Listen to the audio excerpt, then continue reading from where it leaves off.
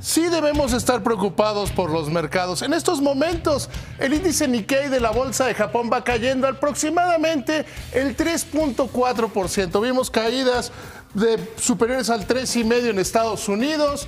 Hoy la bolsa mexicana de valores cae 2%. ¿Todo más, por el coronavirus? más- todo por el Sí, coronavirus. ¿Solo es el coronavirus? Es básicamente el coronavirus, el tipo de cambio en este momento del peso frente al dólar, ligeramente arriba de 19 pesos por dólar, porque ya se entendió que el coronavirus va a ser un problema mucho más serio y mucho más grave de lo que se había pensado.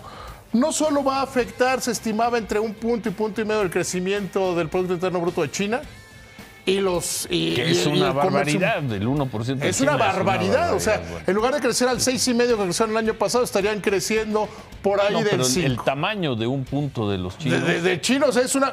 Más el comercio mundial, más eh, que ya se está viendo, como ya llegó a Europa, eh, cómo va a afectar a los países de la Unión Europea y le pega a uno de los países que ¿Y tiene la peor situación. ¿Nosotros qué? Nosotros ya nos tendríamos que empezar a preocupar, pero de la parte seria, no de los mercados. Con este sistema de salud que tenemos, con este de que se compran los medicamentos, que no sabe quién los pide, quién los recibe, los malditos neoliberales y todo, ¿podríamos enfrentar una crisis de salud? Yo espero que sí. Espero con que sí. discursos, ¿no? A mí me sí, preocupa, y lo digo seriamente, ¿eh? se están haciendo espacios presupuestales, se están haciendo campañas de prevención. Ya hay casos en San Antonio, que San Antonio es prácticamente México.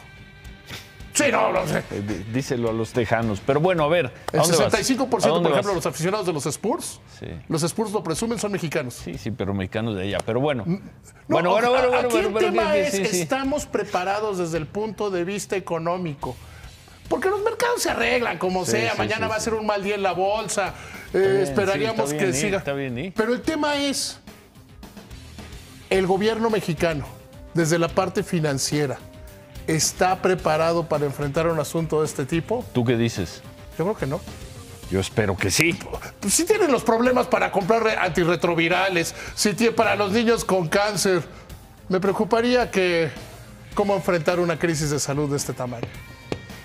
Ojalá te equivoques en esta. Ojalá. Remátala, David. ¿Se acuerdan cuando la Secretaría de Hacienda dijo que se acabó la fiesta de evasión fiscal?